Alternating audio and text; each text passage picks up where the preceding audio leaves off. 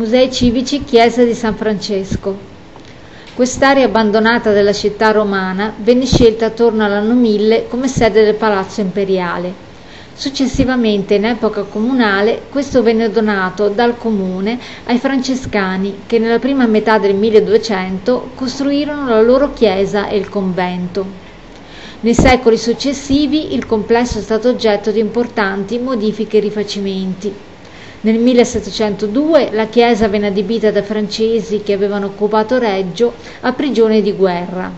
Nel 1798, per volere della Repubblica Reggiana, la chiesa venne impiegata come caserma e stalla per cavalli, mentre nella prima metà dell'Ottocento chiesa e convento furono destinati edificio scolastico e museo.